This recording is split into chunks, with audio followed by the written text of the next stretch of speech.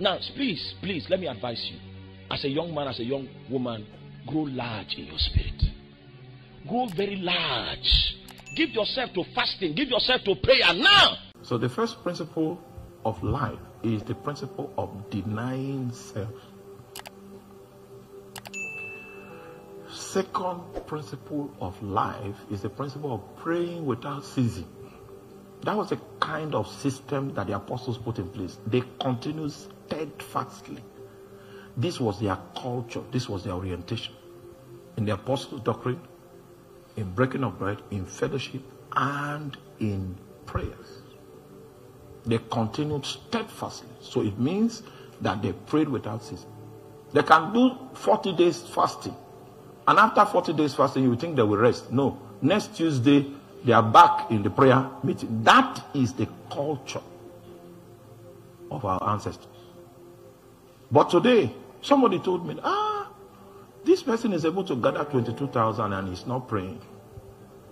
The way you, you people claim that you pray. we don't know what is happening there, but that's not church. He found a way. I've been to Etihad Stadium in Manchester. People gathered. In fact, the stadium was full and people were still outside looking for how to enter. And Jesus was not in the center of that gathering. If those 22,000 people are gathering and it's somewhere in Lagos and they are actually gathering, and part of what they do is not praying without ceasing there is something responsible for the reason why the people gathered.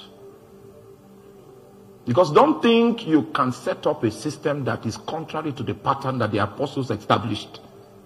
And it is the same initiative you are trying to pioneer.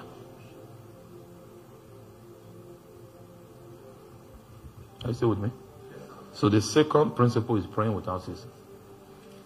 If the spiritual leadership you are bringing to the people that have your ear doesn't require that the people will practice praying without ceasing.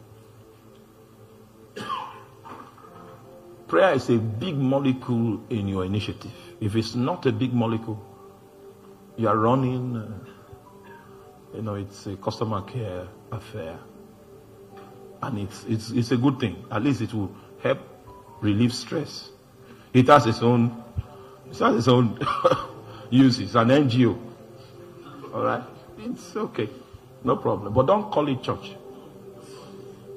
Don't call it church because the people that started church under Jesus' supervision, they gave us a pattern. If what you are doing is contrary to that, forget about it. God is not, you are not one of the people God is considering for him to do anything in the earth. You are doing something, you are busy, you need employment. No problem. But if, if we're talking about the move of God, we're talking about what God wants to do now. Please, let it be known to you that that platform you raise without prayer is not one of the platforms that God is considering to pass through to come into the territory. So we have first law is denying self. Second law is praying without ceasing. Third law is bearing the cross. Bearing the cross. I, I, I know the issue of bearing the cross is not, if we,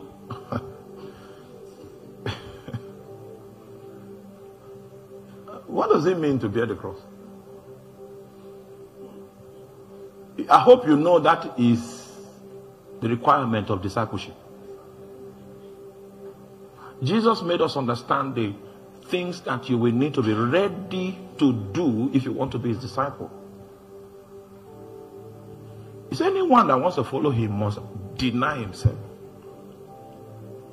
must take up his cross and follow him daily. So bearing the cross is a daily activity. it's a daily activity. Now, imagine Jesus is going to Golgotha and he has a cross on his shoulder. Maybe he was negotiating for one lace, one good lace previously. And then They now put the cross on him. And then the lace seller now said, The lace has come, oh, the lace.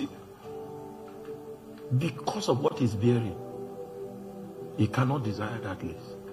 Because the meaning of what he's bearing it signifies that he's going to the place of slaughter. If you are truly bearing the cross, there are some things you will not have time for. There are some fights you will not have time for. There are some distractions you will not have time for. So, oh, there's this lady you have been pursuing. And then they now give you cross to carry. You've been proposing to her, she, she has not accepted. And then while you were carrying the cross, you now say, I've accepted, I've accepted. That acceptance doesn't mean anything to, to you anymore because it's just like a woman that is about to give birth and then you bring, she's in labor, you now bring blades and say. She can't even see, she's in another world between life and death. In that state that she's between life and death, she knows what really matters. It's not lace. But we are running with so many things that don't matter. And that's a proof that you dropped your cross long time ago. That's a proof that you dropped it. You left it. The moment you leave your cross, you begin to look for fame, begin to look for your ambition begins to matter. But if you are bearing your cross, the only thing that matters to you is doing the will of God. And every other baggage becomes insignificant to you because that cross you are bearing is supposed to be for your protection so that you will not be contaminated by this age. No matter how the, the, the things of this age are made to attract, that attraction does not affect you because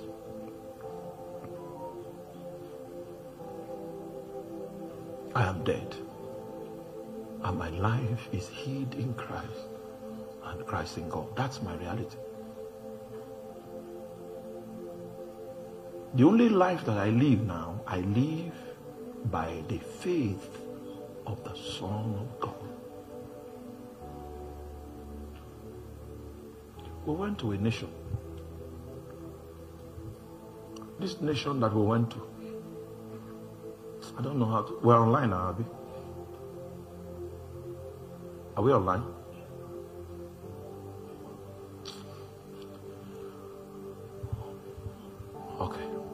So I can't say that because we're online.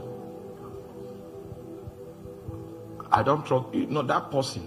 They've, they've used that to trap me before. They say they are, they are post, they are post. And then it, it generated a battle that I fought for two years.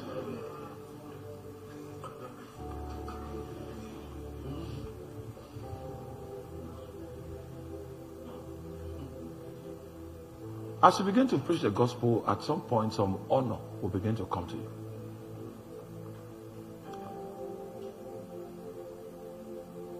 And then people that are in authority in different lands might begin to seek your audience. That's the most treacherous part of ministry. Because I've seen people before, politicians before, when they want to find out the will of God, if am I going to win this election, they are very humble. Then maybe they you tell them, okay, you are going to win. They now campaign and win.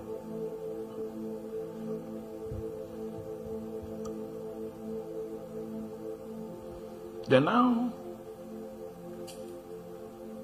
see you as someone that is in their service. Then the time he came, he came to you. You were do, holding one meeting in the city, so he came for the meeting so that he can.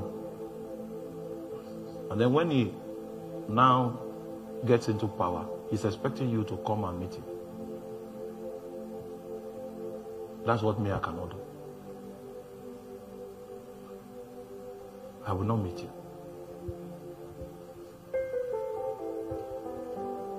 I don't need you. I was doing well before you showed up. It is you that need me. And if that is clear, you will find me where I am. And if you don't have the humility to do it, we have no business together.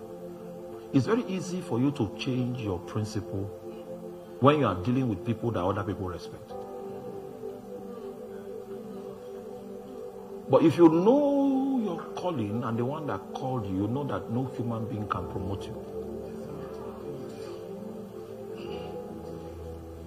You will know how to deal with power accurately if you are still bearing your cross. The day you lose that cross, you are a sellout. Even the people that you are pastoring, the people that you are shepherd over, you will sell them out because you don't have any restraint.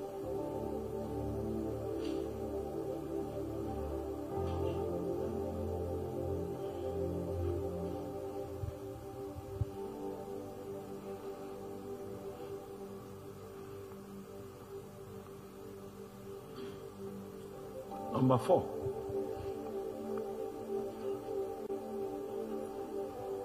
Number four principle is honoring the lordship of Christ.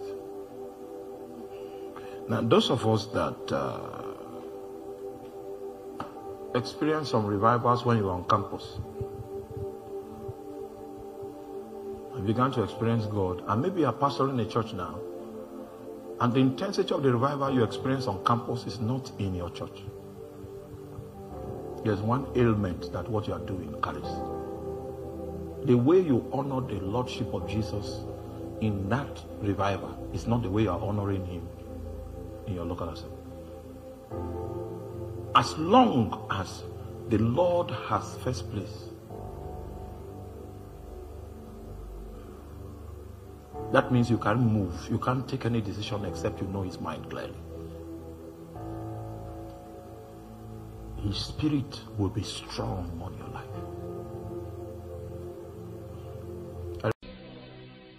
Now, please, please, let me advise you.